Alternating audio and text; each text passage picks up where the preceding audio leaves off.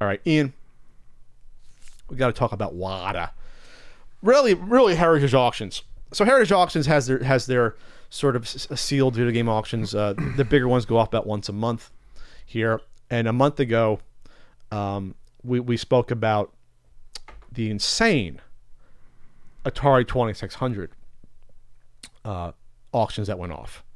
Uh, which NS was never shrink wrapped. We, we discovered, which I thought it was not sealed. Never shrink wrapped. So games that are still sealed but not shrink wrapped, unopened games, whatever.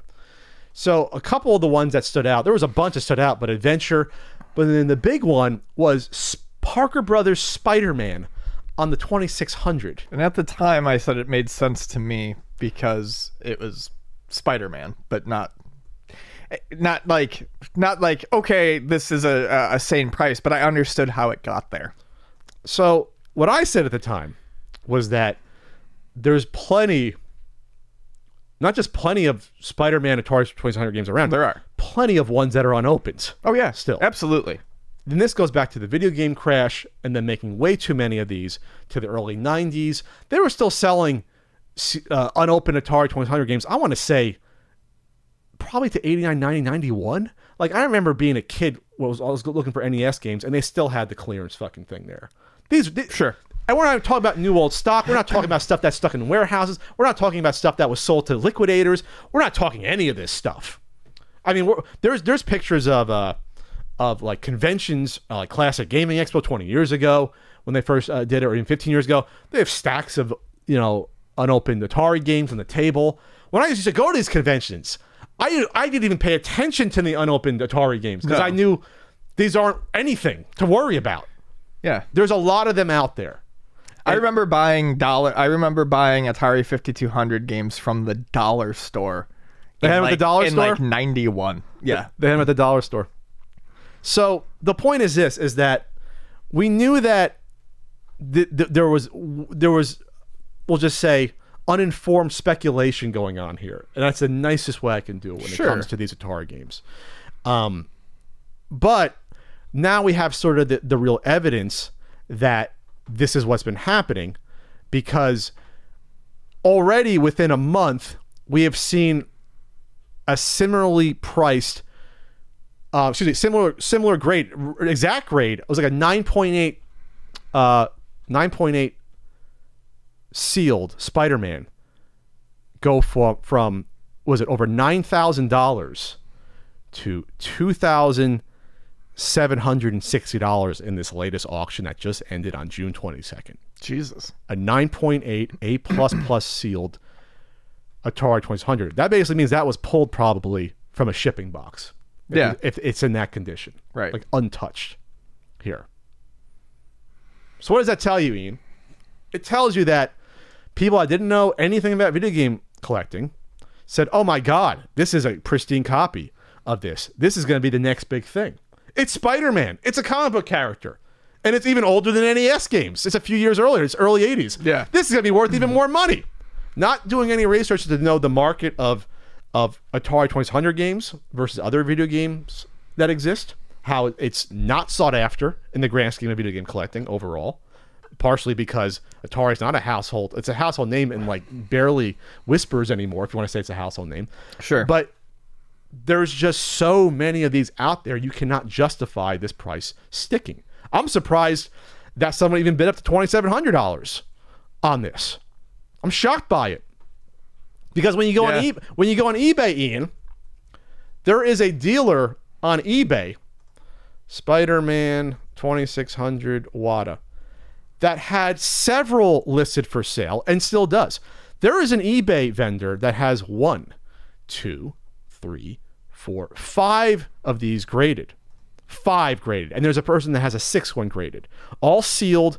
And they run between uh, 8.0 to 9.4, 9.6, 9.8. I don't care if this is a 10. It's Spider-Man on the 2600. I don't care what grade you think you- Right. what, what what this is.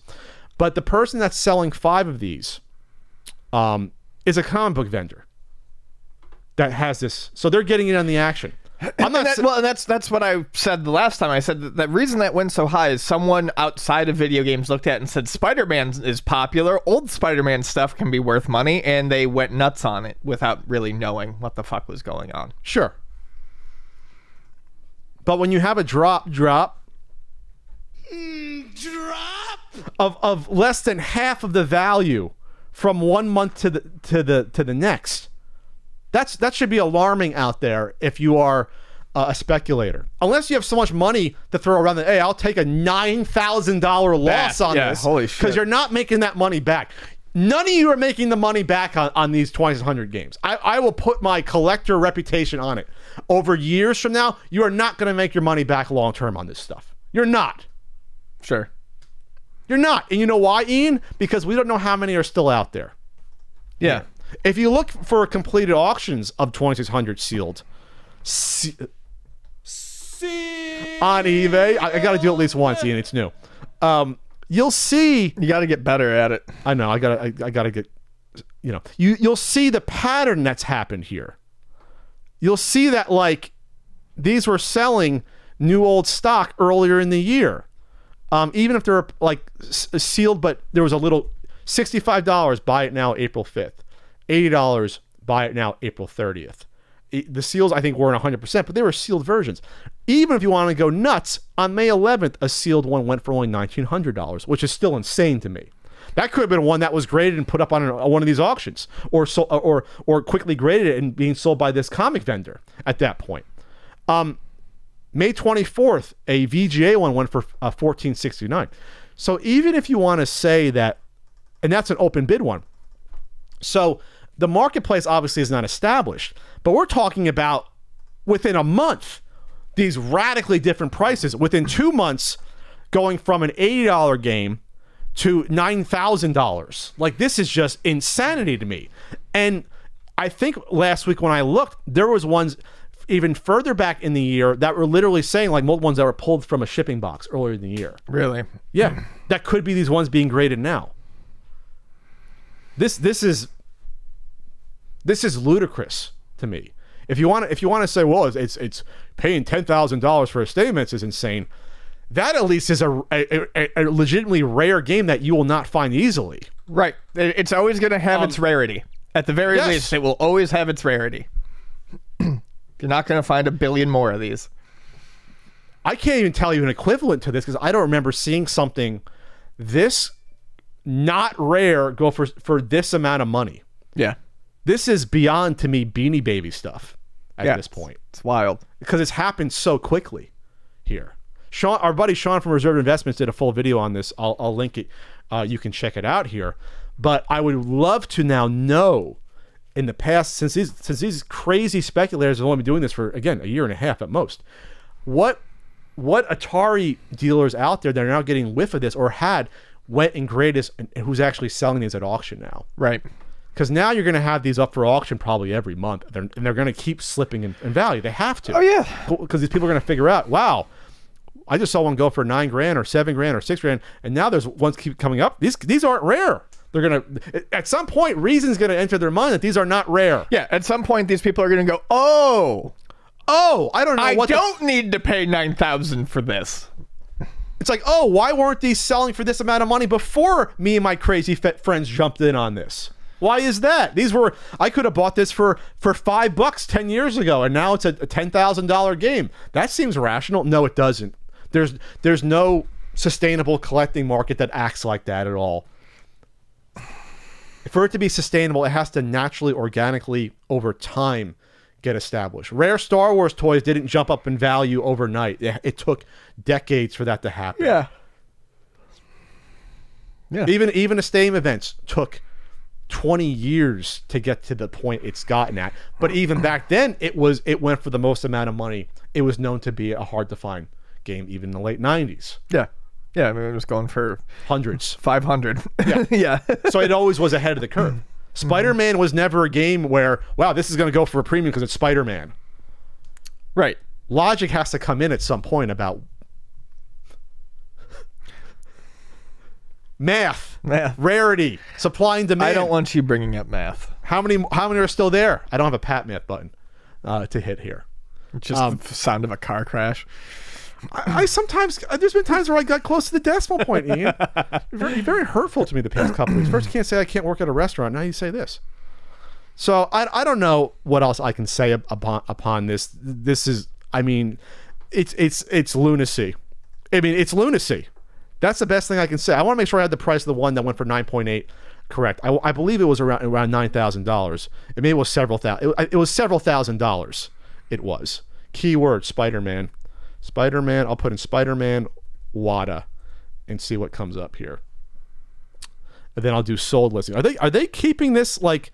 And by the way, there's already another 9.8 A plus plus sealed for auction to go off 18 days from now. Right, because I that- guarantee you Because this- this that is one- person isn't going to get their 9,000. They're realizing that they're not going to get their 2,000. They want to get that 1,000. this is some person that's had these has probably uh, multiple shipping cases that realize wow i can let's see what, what idiots will pay for this. I have 20 of these laying around. The grays are exactly the same. There's been one a month. This is i, I almost guarantee you the same person that went and got these grayed all at once and is now making bank on these one at a time. Making bank. Why can't I find the sold uh, the, the sold past one? Are they hiding the, the one that sold for a lot for months ago? I'm not uh, saying Heritage Auctions is, is is hiding this, but I cannot find the one from a month ago by doing a simple search of Spider-Man and Wata. Why can't I find it?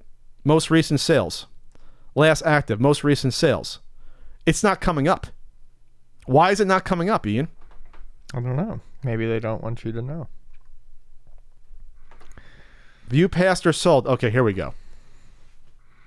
Okay, a 9.6 just went for, on June 1st, went for th- uh, 3,360. So the better graded one, Ian, just went for $600 less than the awful 9.6. And that, of course, went for thousands uh, below. Okay, they weren't hiding it. I don't want to cast aspersions. It went for $9,000 at 9.8 Jeez Louise. on um, May 1st. So six weeks later, Ian, that's a drop of Pat math. That's almost two thirds. That's like 60% drop. That's less. Yeah. 2,700. 2,700 divided by 27 divided by 90. Is that insane? Yeah, it's absolutely fucking wild. That's that's that's th- that's 30% of it. It dropped 70%. It dropped 70%. I, I I can't wait to see what the next one goes for. I can't wait to see what this next one goes for. Again, all it'll the same thrilling. grades. These are 9.8s. These are three 9.8s in a row. 9,000 to oh, a June 15th one sold for 4200, so that already slipped to less than 50%. Jeez. And then the last one just went for for 2660. That's that's falling off a cliff. Week by week. Wow. So I we skipped over the one on June 15th that went for 4200. I went I went straight to the last one that went on June 22nd here. So It's interesting that this, these last auctions have a lot less 2600 games. I wonder why. Because people are realizing that they're not fucking worth anything. Well, but if I saw the adventure one go up, I, I'd want to put my, uh, you know, my adventure up and get a few thousand for a game that's legitimately probably worth 150 200 dollars. Sure. You know what I mean? It's just interesting that I wonder if this is gonna. I wonder if this is gonna really train some of these. Uh, want to call them collectors or speculators. So may, maybe I should start looking up this stuff to making sure I know what the hell I'm, I'm talking about. Yeah. Maybe when I see Pat in person at a convention, I shouldn't just yell at him saying you don't know what you're talking about when I've only figured out video game collecting was a thing for the past year. Danielle, maybe you shouldn't do that. Maybe you should start talking. Maybe, hey, hey, guy, hey, you know, like, hey, uh, someone like uh, good old, uh, you know, like uh, Rick Weiss. Hey, you know, uh, you've been collecting Atari 2600 games for like 25 years. Are these rare at all? And, and and learning about the history of this stuff, you know. Right. Maybe, maybe you do that. Maybe you do that.